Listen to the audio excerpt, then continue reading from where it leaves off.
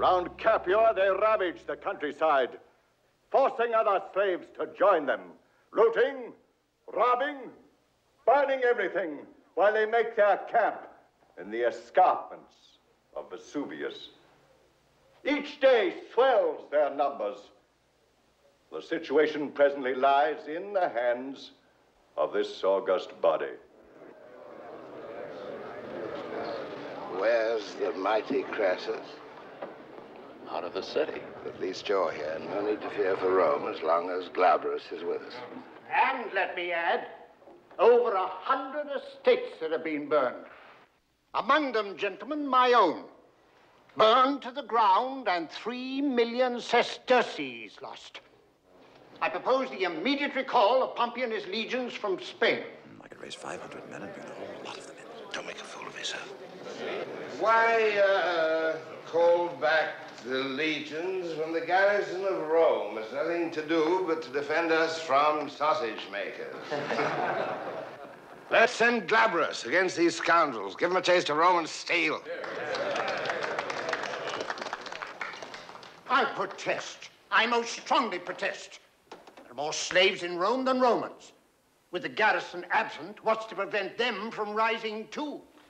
Well, I uh, did not say the whole garrison. Six cohorts will more than do the job. The rest can stay in Rome to save you from your housemaids. will you accept such a charge, Glabrus?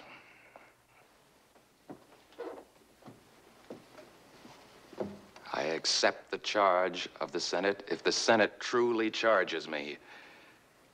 The garrison of Rome stands ready.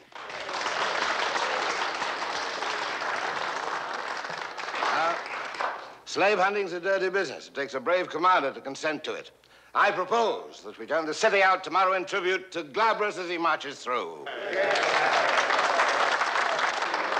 And uh, for temporary command of the garrison during his absence, I propose Caius Julius Caesar.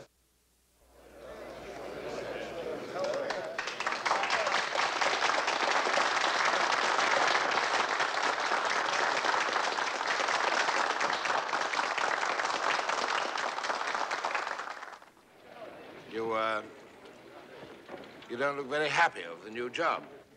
It's not a serious disturbance. Glabrus will be back. Maybe. At least he gives me a chance to separate Glabrus from Crassus for a while. You know, this republic of ours is something like a rich widow. Most Romans love her as their mother. But Crassus dreams of marrying the old girl, to put it politely.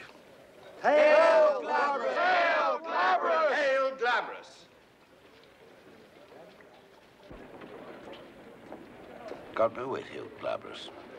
And with you, too.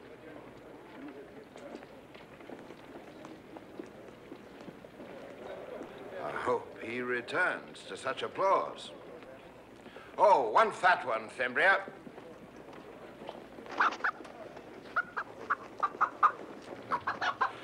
No, no, no, no. Keep the change. Give it to your wife. May the gods adore you. Only through your prayers, Fimbria. Let's make an old-fashioned sacrifice for Glabrus' success. Hmm?